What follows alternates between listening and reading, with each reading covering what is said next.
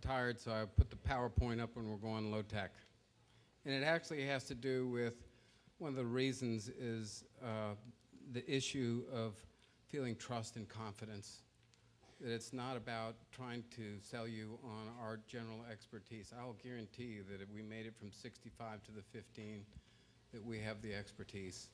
But coming from the heart, look around and be glad that you are able to be here. And the problem with that is there are a lot of people that aren't able to be here. So I'm very fortunate, and we all are, to be here and to have the 15 teams that are here for you to select. And I mean, they're great. ACE is great. We're working on a project together. We all work together. This is a great community of planners, architects, and um, community leaders that we're going to look forward to in this process working together. Um, to have the opportunity to put a dream team together, to say, who would you have on your team to go in, to, to go and ask a neighborhood to be your partner? See, we have like 15 different entities on the team. They're in an org chart someplace in Stephen Bingler's office. But what we need is that other partner, and that's the neighborhood. And that's why this is so important. It's important to me. And I want to speak from my heart. I don't want to speak to a screen. And I want to show you the, the people that are here that are working on a team. It's primarily who, who we are, are local folks that are teamed up with out-of-town professionals that wake up every day uh, and think about planning and wake up every day and think about how to rebuild communities sustainably. The two out-of-town firms that we have are Camiros, which I've worked with for several years. He actually had an office in my office for a while. He did the empowerment zone application. I don't know how many of you are old enough to think about that, but Jacques was a little bit uh, younger then. And Bob Berkebile with BNIM. Uh, those are the two out-of-town firms that I felt were important enough to add the expertise to our team. And Bob Berkebile with BNIM is uh, the preeminent firm uh, that creates and helps create sustainable communities and architecture. So uh, you'll hear uh, a little bit more from Jacques in a moment. Uh, Carlos Cascio is somebody that I've worked with for years. Uh, we're uh, helping redo this park and the whole 113 buildings as we speak.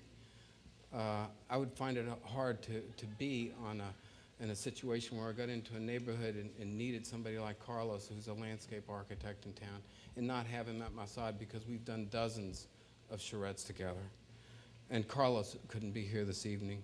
ERA, this is about bringing the bacon home. It's important for you all to know that you really do need economic research associates or someone like them to work with neighborhoods to figure out how to get the money, where it's coming from, how these things are feasible.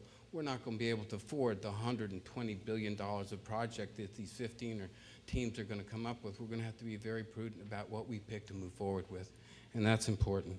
And we're looking forward to them. And I'm currently working on them on a $200 million project in Algiers uh, for the Firemen's Pension Fund. The firemen are great. And please support them. They make $8.20 an hour. Thank you, the firemen. I mean, we all are the firemen. Sorry about I got into that. Sorry. Sorry, sorry. Kerwin Julian, engineer. Kerwin, uh, we're working on uh, some projects now together. Uh, important to have the SAGE uh, uh, input from Kerwin, and who has been uh, working on planning. I'm going to try and get this um, through with this in five minutes. GCR, Greg Rigamer, uh, was here right off the shoot and, and really has the statistics to give us the background information, waiting on our other partner, that neighborhood, and seeing what information we'll be able to fold into our efforts. Urban systems to handle some of the infrastructure and the traffic. And then Nelson, um, W.S. Nelson, Charles Nelson, worked with him many times.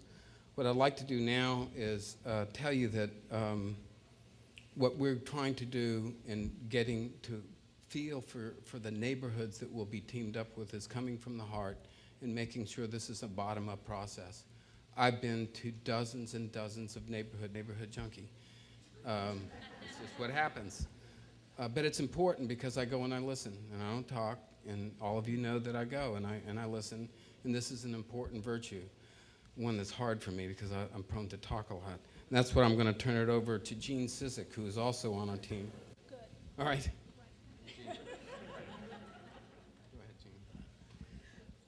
Uh, thank you for being here. Uh, just want to address the question of uh, basically sort of another version of any of the people who've uh, talked tonight or have had their names mentioned are former students of mine from either LSU landscape or Tulane School of Architecture. Uh, I've been working in New Orleans since 1968 uh, when LSU and uh, landscape faculty and I did the study for the Riverfront Expressway to basically define what was really happening there. I've also worked on the growth management program for the Central Business District, uh, and uh, the uh, uh, there was even a proposal for a wonderful, much better way of having built uh, New Orleans East than what actually got done. It's called Pontchartrain Newtown. Uh, this again was an international group of, of planners. Uh, I guess one of my biggest or three biggest uh, accomplishments uh, and that put me into the neighborhood are, are I've been at Tulane since 1970, uh, and I've been I direct the preservation studies program there. Uh, and I've uh, been working with children in neighborhoods from pre-K through 12 uh, for uh, 30 years, and this year we're going to be uh, doing something very special because we have a new School of Architecture and Construction at Priestley uh, Elementary, which is a new charter school. Uh, my students and I have studied practically every neighborhood in the city and region, including a few places out of town. So just want to let you know that, that we are from New Orleans, we are of New Orleans, and most of us have worked at many other places. Most of us could have lived many other places, but we're not. We're living here because we love it here. At this point, I'm going to turn it over to our Well, let, let me say something. I'm a facilitator with the team of Williams Camiros, and what I do is make sure all of these people stay on time. We respect who they are, we're all qualified, and I'm going to give 30 seconds for Kerwin and Jacques to say something, and I'll introduce Cynthia. But what we do is make sure we look at the faces to make sure you understand what's being said. We are trying to communicate some facts, but we want to make sure you understand. So, the essence of this entire project is you are the employer. You select the neighborhood team. We need to be responsive to you and find a way to work with you to meet your needs. So, I want you to meet very briefly uh, Kerwin and then. I'm Kerwin Julian, uh, I own Julian Engineering. We're a civil and structural engineering firm. We're located in Algiers. We've been in business for 11 years. I- I've been practicing engineering for 19 years. Uh, We have 34 employees, and we have all of the tools necessary to provide the engineering uh, and infrastructure support. I'm Jacques Gourguechon. I'm president and, uh, of uh, Camiros Limited in Chicago. I'm the out-of-towner. Uh, But I have strong connections here, having worked in many of the poorest of your neighborhoods on the Empowerment uh, Zone project back in the early 90s. Um, What I'm, my job is to bring our experience in neighborhood planning.